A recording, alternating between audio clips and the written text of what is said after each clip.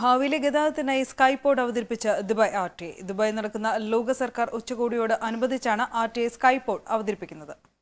ദുബായിൽ ഗതാഗത രംഗത്ത് പുതിയൊരു കുതിപ്പിനാണ് ആർ ടി എ തുടക്കം കുറിക്കുന്നത്.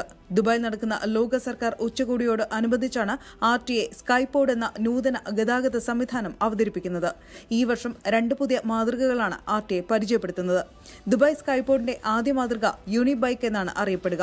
അഞ്ച് യാത്രക്കാരെയും അവരുടെ ലഗേജുകളും യൂണിബൈക്കിൽ കൊണ്ടുപോകാൻ സാധിക്കും. പരമാവധി വേഗം മണിക്കൂറിൽ നൂറ്റി അൻപത് കിലോമീറ്ററാണ്. മണിക്കൂറിൽ ഇരുപതിനായിരം യാത്രക്കാരെ അങ്ങനെ കൊണ്ടുപോകാൻ സാധിക്കും. അതേസമയം യൂണിക്കാർ എന്നതാണ് രണ്ടാമത്തെ മാതൃക. ഇരുന്നൂറ് കിലോമീറ്റർ ദൂരത്തിലാണ് യൂണിക്കാർ യാത്രക്കാരെ വഹിക്കുക. ആറ് യാത്രക്കാരെ വീതം ഉൾക്കൊള്ളുന്ന യൂണിക്കാറിൽ മണിക്കൂറിൽ അൻപതിനായിരം ആളുകൾക്ക് യാത്ര ചെയ്യാനാകും.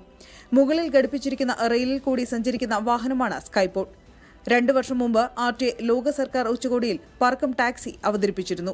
നിലവിലെ ഇലക്ട്രിക് വാഹനങ്ങളെക്കാൾ കാര്യക്ഷമത കൂടിയവയാണ് അവതരിപ്പിക്കുന്ന പുതിയ ഗതാഗത സംവിധാനങ്ങളെന്നും ആർ ടി വ്യക്തമാക്കി.